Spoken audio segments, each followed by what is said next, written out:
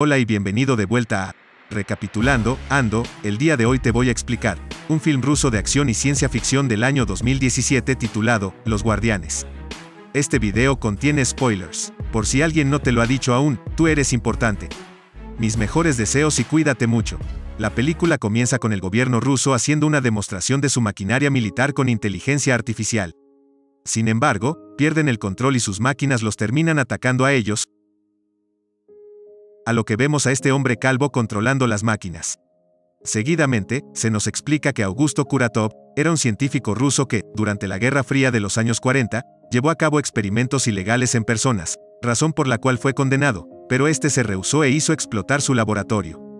Kuratov absorbió la radiación de la explosión y finalmente escapó. Ahora Kuratov está re loco y en vista de que el ejército no puede detenerlo, se ven obligados a encontrar a las personas con las que éste experimentó, ya que desarrollaron poderes y son los únicos capaces de vencerlo.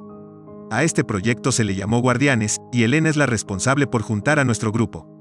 A continuación, el equipo de rastreo de Elena se mete a Google y busca noticias de los guardianes que están distribuidos en diferentes partes de lo que era la antigua Unión Soviética. Estos comienzan a encontrar pistas y se nos muestra a este hombre de nombre Lear, quien usa tierra control y puede manejar las rocas a su antojo. Este le explica a Elena que no tiene interés en luchar para el gobierno, sin embargo, Elena le comenta que es para vencer a la persona que experimentó con él, a lo que Ler ni corto ni perezoso acepta. En la escena siguiente, vemos a este hombre sentado en medio del desierto, a lo que sus ojos cambian de color y desarrolla supervelocidad para partir a la mitad a este hombre con auto y todo.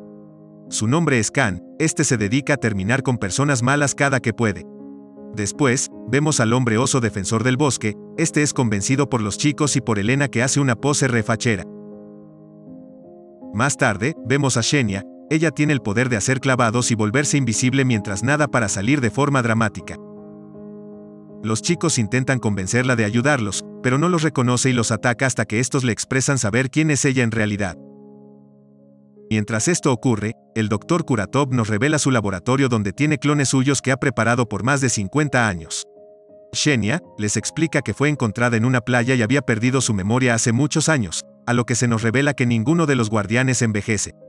Shenya tiene invisibilidad en el agua y su piel es resistente a altas y bajas temperaturas. Esta acepta trabajar con los guardianes para ver si así recupera la memoria. El ejército ruso encuentra la guarida de Kuratov, a lo que los chicos van. Allí, Shenya aprovecha el clima para hacerse invisible, a lo que los demás deciden ir cada quien por su lado. Sin embargo, todo era una trampa y Shenya es detectada por visión de calor, a lo que es congelada y no logra hacer nada. Seguidamente, el hombre oso se abre paso en medio de los soldados y golpea a este con un barril de forma graciosa. Khan abate a múltiples enemigos súper rápido y Leer se pone una armadura de roca para hacer una chuza. De repente, a Khan le disparan un dardo tranquilizante, al hombre oso le ponen una red, cosa que al parecer es su única debilidad. Pero Leer tiene un encuentro directo con Kuratov, este advierte conocer todas las debilidades de sus creaciones, a lo que ataca a Leer metiéndole la madriza de su vida hasta romper su espalda. En la escena siguiente, vemos a los guardianes en una celda en el laboratorio de Kuratov. El hombre oso intenta convencerlo de dejar ir a Shenya ya que ésta no recuerda su pasado y por ende ya no tiene relación con él. Sin embargo, Kuratov les da 30 horas para considerar unirse a él y a su plan, para irse después a controlar los tanques con sus poderes como si fueran a control remoto. Los tanques y las tropas de Kuratov atacan la ciudad de Moscú, cuyo gentilicio es moscovita, a manera de dato interesante. A todas estas, Elena encuentra a Ler y se nos revela que, en realidad, el ejército ruso estaba aliado con Kuratov y todo era una trampa para que éste atrapara a los guardianes a cambio de no atacar las ciudades ni a los civiles. Pero Kuratov no cumple con su parte del trato y termina con este funcionario mientras se roba una torre de comunicación gigante.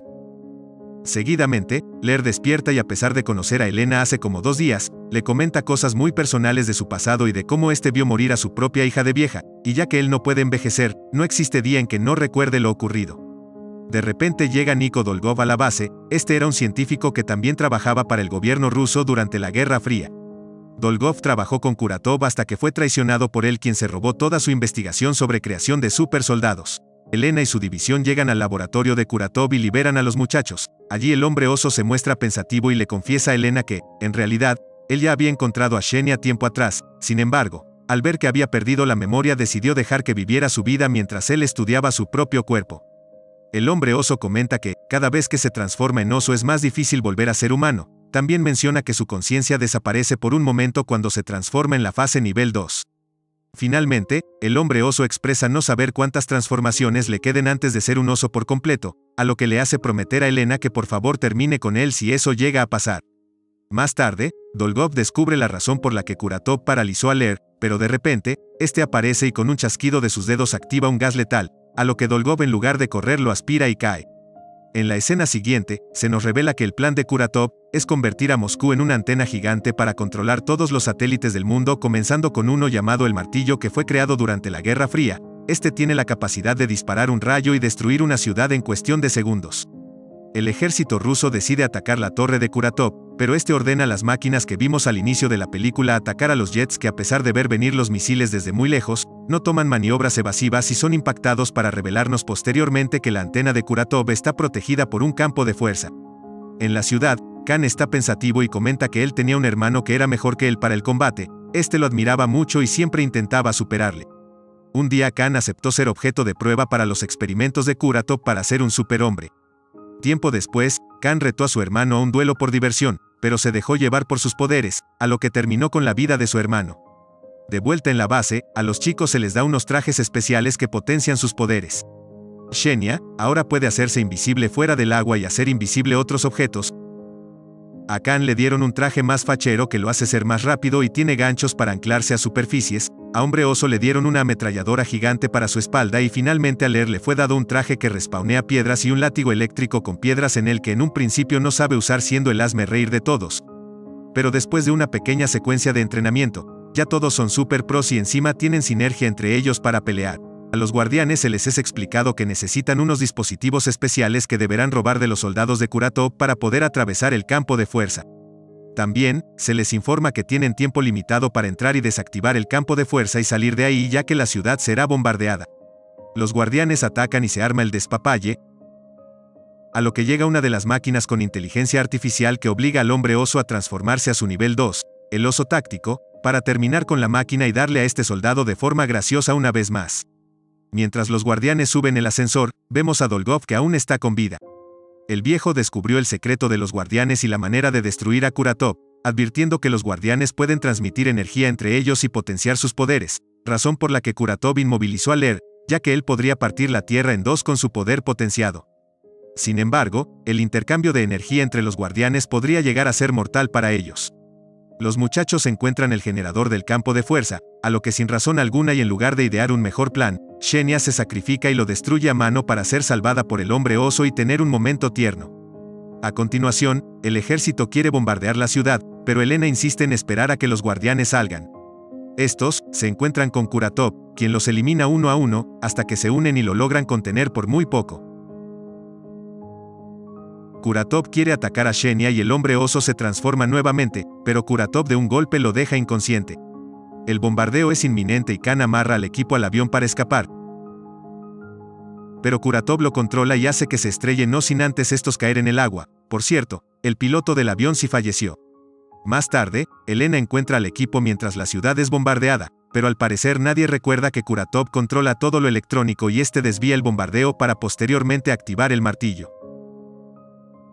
Justo después de que Elena les explique lo de juntar sus energías, los guardianes se disponen a intentarlo y le entregan su energía a Leer, este destruye el campo de fuerza junto con la antena de Kuratov.